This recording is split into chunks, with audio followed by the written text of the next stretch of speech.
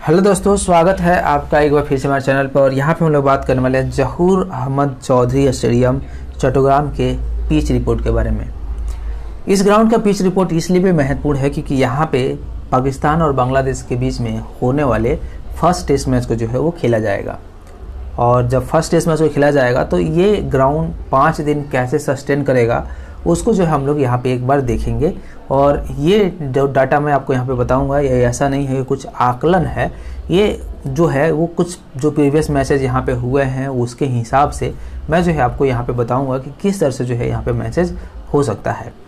सबसे पहले बात करते हैं तो अभी तक आपने चैनल को सब्सक्राइब नहीं किया है तो सब्सक्राइब कर लेना ताकि आने वाले वीडियो का अपडेट आप बिल्कुल भी मिस ना करो। उसके अलावा आप अभी तक मुझसे नहीं जुड़े हो तो ये जो है डिटेल्स है ये व्हाट्सअप का नंबर है और ये टेलीग्राम का जो है लिंक है जो आपको वीडियो के डिस्क्रिप्शन में भी मिल जाएगा जहाँ से आप मुझसे जुड़ सकते हो जहाँ पे आपको किसी भी मैच के रिगार्डिंग किसी भी तरह का इन्फॉर्मेशन जो है आपको बहुत ईजिली प्राप्त हो जाता है। बात करते हैं यहाँ पे आ, इस ग्राउंड के बारे में। तो आपको देखने को मिलेगा कि यहाँ पे कैपेसिटी जो देखोगे वो बीस हज़ार के आसपास है और इसे जो है वो चट्टग्राम डिवीज़न स्टेडियम के नाम से भी जो है वो जाना जाता है। इसके अलावा वीर श्रेष्ठ शाहिद के नाम से जो है वो भी जाना जाता है। अब यहाँ पे बात करते हैं तो ये आपको चट्टोग्राम बांग्लादेश में देखने को मिलेगा। और ये होम जो है, वो बांग्लादेश टीम का है और साथ में जो चट्टोग्राम का डिवीज़न जो है यहाँ पे मैचेज होते हैं, वो भी जो है इसका हेड है।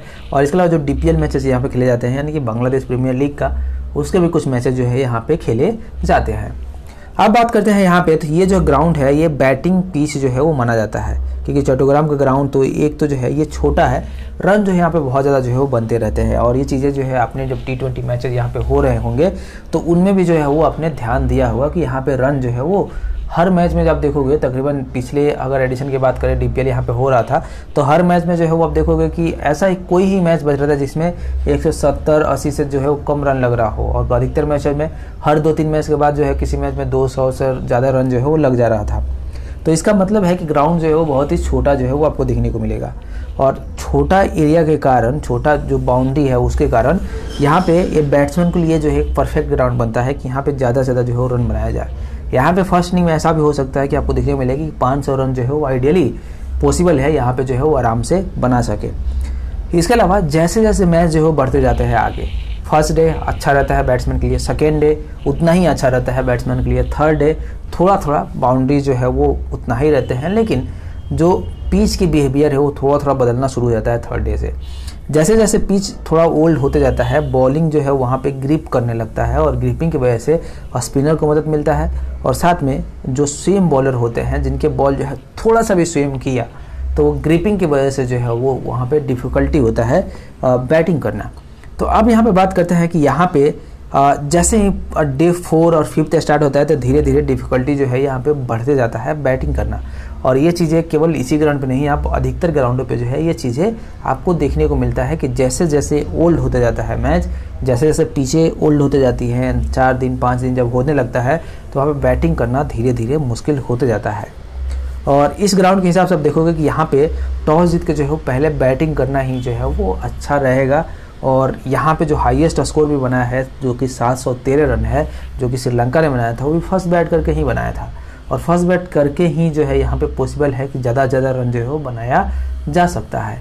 ऐसा भी हो सकता है कि शुरुआत में जब सुबह सुबह यहाँ पे मैच खेला जाएगा तो थोड़ा सा जो नमी रहता है ग्राउंड में वो रहेगा और वहाँ पे स्विम बॉलरों को जो है वो मदद मिल सकता है।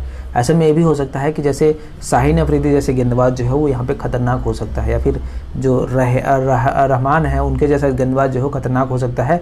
लेकिन पाकिस्तान के लिए ये वरी की बात नहीं होगी कि रहमान इसमें खेल नहीं रहेगा लेकिन बांग्लादेश के लिए वरिंग की बात होगी। अगर पहले बैट करेगा तो कि शाहीन को जो है खेलना थोड़ा सा इसी ग्राउंड पर मुश्किल होगा क्योंकि जैसे जैसे बॉल नया रहेगा उसमें से स्विमिंग कंडीशन जो है वो बहुत ही बेहतर रहेगा और स्विमिंग कंडीशन बेहतर रहेगा। तो वैसे ग्राउंड पे थोड़ा सा डिफिकल्टी हो सकता है शुरुआत के पाँच सात ओवर उसके बाद से जो यहाँ पे बैटिंग करना बहुत ही आसान हो जाएगा। अब हम बात करते हैं यहाँ पे, अगर एक बार ओडीआई का डाटा देख लेते हैं तो 20 मैचों में से जो है, सात जो है फ़र्स्ट बैट जीता है और तेरह सेकंड बैट जीता है। सेकंड बैट को जो है डबल से ज़्यादा फेवर जो है यहाँ पे करता है।